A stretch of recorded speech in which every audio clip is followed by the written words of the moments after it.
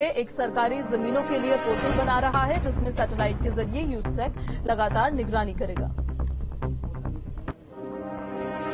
उत्तराखंड में कामकाजी महिलाओं के लिए व्यवस्था होगी। प्रदेश के हर ज़िले में कामकाजी महिला छात्रावास बनेगा।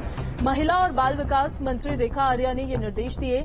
सभी जिलों में कामकाजी महिलाओं के लिए सुविधा होगी। कामकाजी महिलाओं की संख्या को देखते हुए ये फैसला लिया गया है। बड़ी खबर आपको बता रहे हैं। प्रदेश के हर ज़िले में अब इसी तरह से छात्रावास बनाया जाएगा। महिला और बाल विकास मंत्री रेखा आर्या ने ये निर्देश दिए हैं। सभी जिलों में कामकाजी महिलाओं के लिए सुविधा मुहैया कराई जाए। ये सुविधा दी जाए। कामकाजी महिलाओं की संख्या को देखते हुए दरअसल ये फैसला दिया गया है।